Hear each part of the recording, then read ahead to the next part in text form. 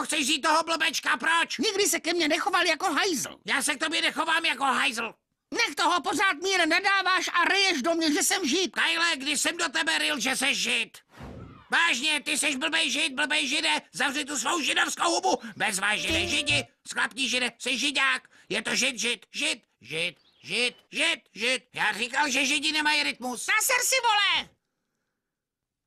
Dobře, tak možná tenkrát jednou. Vždycky se schoval jako hajzl a já tě nepozvu. Kajle, ty to nechápeš. Casa Bonita je mý nejoblíbenější místo na světě. Já umřu, jestli mě nepozveš, prosím. Sorry, jsem rozhodnutý.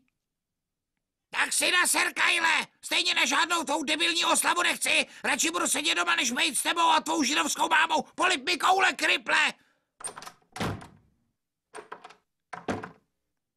Já to tak vůbec nemyslel, Kajle. Já bych fakt moc rád do Kasabonity. Mrzí mě, že jsme se pohádali. Prostě já něco řek, ty jsi něco řek, ale je to pryč, je to za náma. Nepozvu tě do kásy, Bonity.